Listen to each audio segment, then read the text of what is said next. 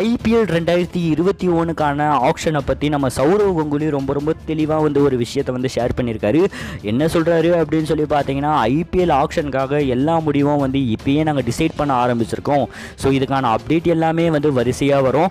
அது மட்டும் இல்லாமல் பிப்ரவரியில் வந்து கண்டிப்பாக இந்த ஆப்ஷன் வந்து நடத்துவோம் அப்படின்னு சொல்லியும் வந்து நம்ம கங்குலி வந்து உறுதியாக வந்து சொல்லியிருக்காரு. ஸோ இந்த விஷயத்தை வந்து எதுக்கு ஷேர் பண்ணுறோம் அப்படின்னு சொல்லி பார்த்தீங்கன்னா சிஎஸ்கே வந்து பிளேயர்ஸ் இல்லாமல் ரொம்ப ரொம்ப தத்தளிச்சிட்டு இருக்காங்க. அது மட்டும் இல்லாமல் ரெய்னா மற்றும் ஹர்பஜன் சிங் வந்து சிஎஸ்கேவே வந்து ஏமாற்றிட்டாங்க அப்படின்னு சொல்லிட்டு சொல்லணும். ஸோ ரெண்டாயிரத்தி இருபதில் அவங்க விளையாடுறது ரொம்ப ரொம்ப ஒரு கஷ்டமான நிலையில் வந்து இருக்குது ஸோ ஏற்கனவே சிஎஸ்கே வந்து ஒரு பக்கா பிளான்லாம் வந்து பண்ணிகிட்ருக்காங்க கண்டிப்பாக ரெய்னா மற்றும் ஹர்பஜன் சிங் ரெண்டாயிரத்தி இருபத்தி ஒன்றில் சென்னைக்காக விளையாடுறது ரொம்ப ரொம்ப ஒரு கஷ்டமான விஷயமா தான் இருக்கும்.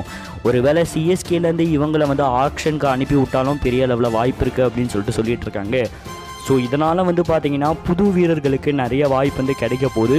ஸோ சிஎஸ்கேனி எந்தெந்த வீரர்களை எடுத்து ஆக்ஷனில் வந்து சேர்த்து சென்னைக்காக வந்து களமிறங்க போகிறாங்க அப்படின்னு சொல்லி வெயிட் பண்ணி பார்ப்போம்.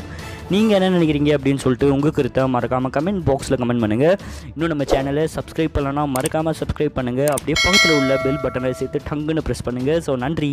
ஜெய் ஹிந்த்.